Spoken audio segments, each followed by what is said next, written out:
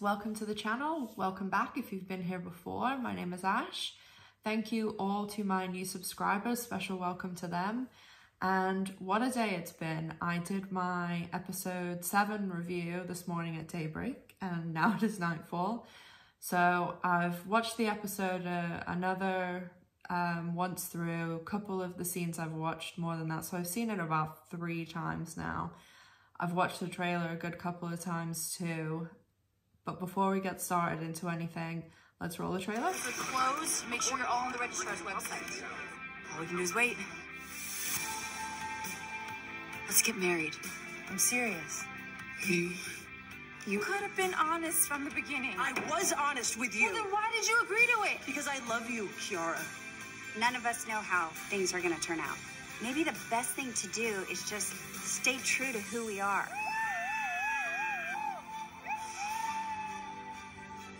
Okay, so now everyone's seen it. We don't have too much to go on, to be honest. Um, they obviously want to leave it that way because it's the season finale. This episode has to keep us going for probably at least a year, hopefully no longer than that. It's election day. We're going to find out if Bette fucking Porter becomes the mayor of Los Angeles. I'm really going back and forth. I'm I, once I convince myself, yeah, she she has to win, you know, that there's not really too much going on relationship side as we know. So this would be, you know, a really great thing and it's something new for the character and but then I'm like how would they do this in the show? Because obviously all of Bette's time is going to be taken up if she's the mayor. I would really like Bette to win. I think that would be super cool to have, even if it's just on television, an openly lesbian mayor of Los Angeles, like about time. But again, I'm not sold. So we'll see. The next scene is Dani saying to Sophie, let's get married. Uh, they're already engaged, so I'm assuming it's let's get married now or let's get married tomorrow.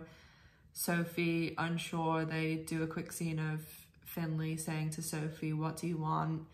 And what does Sophie want? I mean, she's saying she's not going to tell Dani what happened should she really be going into a marriage that way? Should she really be kissing someone else if she's going into a marriage? Of course not. But I don't know whether we're gonna, maybe we'll get a cliffhanger. She'll, Dani will find out because it's the L word. They always find out. So we also shall see what happens there. Shane and Quiara's the next scene, just a really quick um, argument between them of Quiara basically saying, you should have been honest from the beginning and did I miss something because Shane was very honest from the beginning and I also don't remember Shane being there whenever she got pregnant. It was a surprise to Shane and all of us so I think Shane's been pretty clear and yes she loves her that's why she's going along with this but she's been honest all along saying she doesn't need a, kill, a kid, oh sorry, she doesn't need a kid to feel fulfilled and it also doesn't seem like she really wanted the child but she's going along with it because she loves Quiara. So I don't know how, I mean that technically they are divorced so who knows what's going to happen there. Alice, it looks like she's giving her staff kind of a rallying speech to they're doing their obviously last show. They need some sort of viral video. I have a feeling the viral video Bette something's gonna come from all of this. Maybe Bette help save alice's show in some way they did make up at last episode so um, i'm glad that they're back on on good terms because my favorite part of Generation Q has obviously been the three, four originals. The only last episode I was a bit um not annoyed but I would have really liked to have seen um a Tina, Bette, Shane and Alice scene or even a Tina, Shane, Alice scene.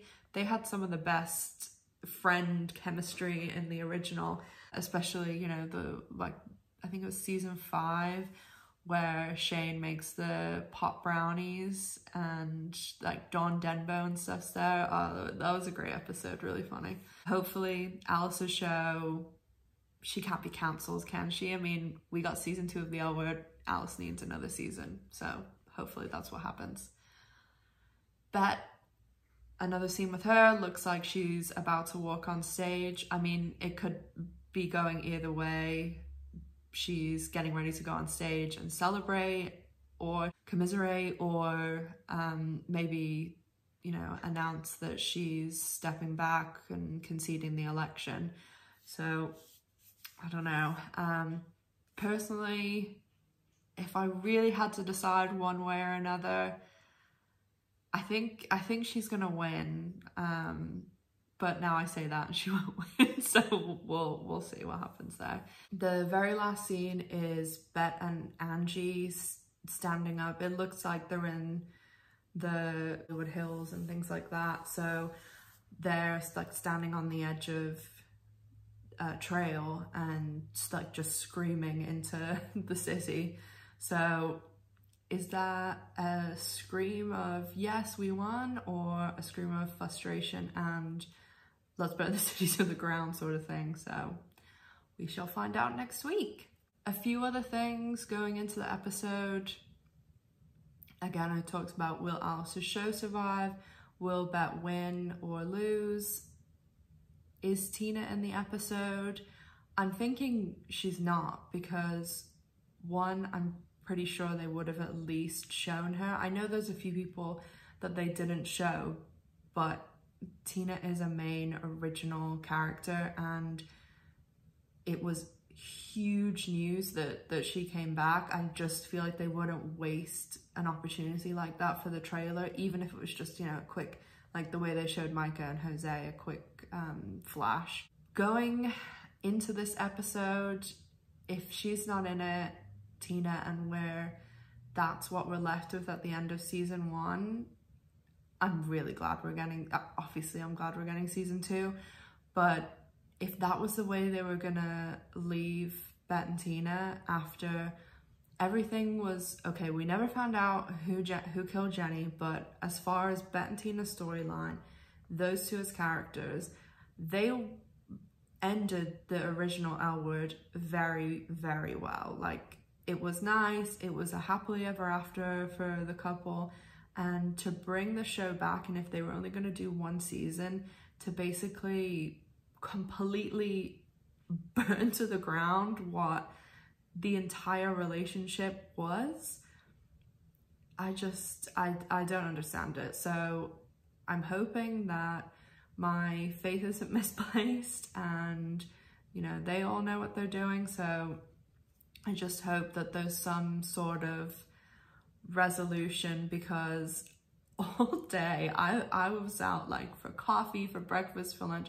And the second I got home today and I was like, oh, I'm gonna do the trailer breakdown, all I've been thinking about is poor Bette. Like, I cannot get over her face. I mean, it just speaks again. I know I raved about this in my episode review, but Jennifer Beals, just she's so amazing.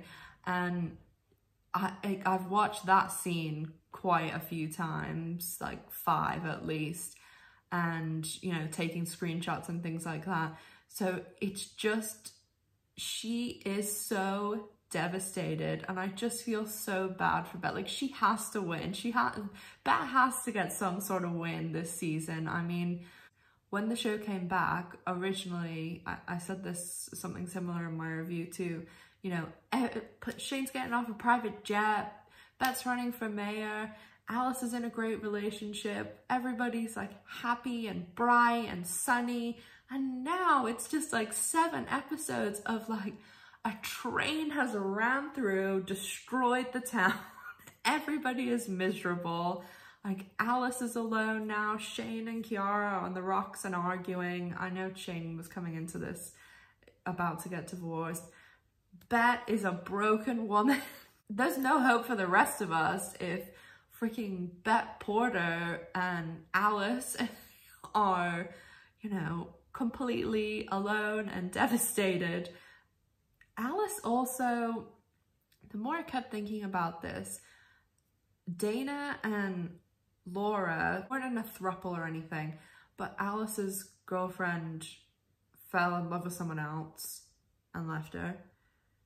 Tasha, the way we ended the original L word, there was a very similar situation going on with with Jamie, even down to the fact that when Nat and Gigi were the whole thing, the whole breakup thing was happening, they were ordering food and it was like they'd got the same thing.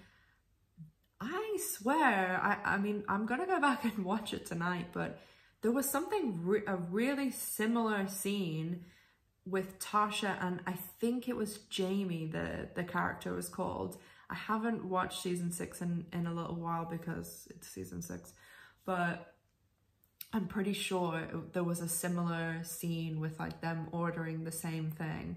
Please help Alice. Please get her someone nice and who's going to be loyal to her. And also, please someone help Bette. Uh, my heart really goes out to the two of them. Now, I did have a brief thought there where I thought maybe they should they should get together, but no, that would be a disaster, I think. So that is the last season one, the L Word Generation Q trailer breakdown. Obviously, next week I will still have episode eight, the season finale review. And this week I, I will have, when they start releasing uh, screenshots and things for the the next episode, I, I will do a video or two and I will post some Bette and Tina content too from this, this episode. I also am thinking about because come next week, I mean, we might have some news that we can discuss for a while, and every so often there'll be L word news. But for the main point, there's not going to be too much L word content coming out for the next couple of months, or at least until they start filming again. So I was thinking about going back and starting with season one of the original L word and doing some reviews or even some discussions about things going on there. Obviously, it was way back in early mid 2000s. So I think it'd be, I, I watch the show again probably once a year. So I think it would be kind of interesting to to maybe do a couple of discussions if anyone wants to watch along. That'd be kind of fun too. So let me know your thoughts on that. As I said in my review earlier, if you guys would like to win the rainbow shirt with everyone's names that I had on this morning, I think it's the cast of season three, all the names are, because Carmen's on there, Jenny, Max, or the shirt I'm going to wear on Sunday that says Bette Porter for Mayor. Please, all you have to do is be a subscriber and comment down below. You can comment anything you want about the episode, about character, anything. It can even just say, I love the L word. So if there's any questions, comments, you want to discuss anything, comment down below as well. If you like this video, please give it a like and I look forward to talking to you guys soon. Have a good day. Take care. Bye.